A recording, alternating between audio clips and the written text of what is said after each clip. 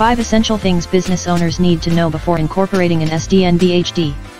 The following are the top 5 things that business owners need to figure out before submitting the company registration form to help them successfully register an SDN BHD in Malaysia.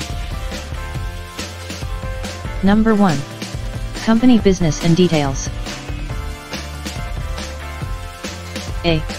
Proposed company names. According to SSM or Companies Commission of Malaysia, business owners need to propose a company name that meets the following criteria. Does not imply connections to the royal family or government agencies and authorities. Does not mislead the business nature. Is not profane or possibly offensive. Is not similar to other registered companies does not imply connections with operations controlled by other regulations unless approved in writing by the appropriate agency. Does not imply a connection to the activities specified by government bodies or professional agencies unless approved in writing by the appropriate agency.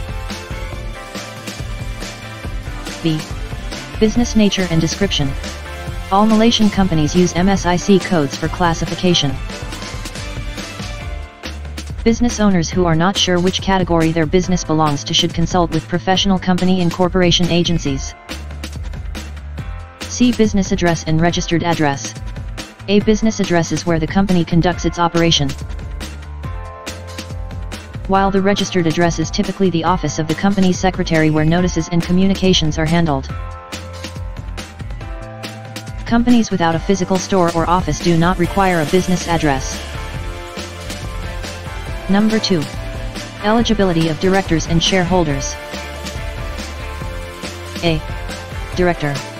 Both Malaysians and foreigners can register as the sole director and shareholder of an SDN BHD as long as they are 18 years old and above, live in Malaysia and are not disqualified under Companies Act 2016 Section 198. Foreigners who do not live in Malaysia need a minimum of one resident director to register an SDN BHD. B shareholder. An SDN BHD can have a maximum of 50 shareholders. After the company is registered and a corporate bank account is opened, every shareholder must transfer the necessary amount to the account based on the number of shares they own. Number 3. Documents required.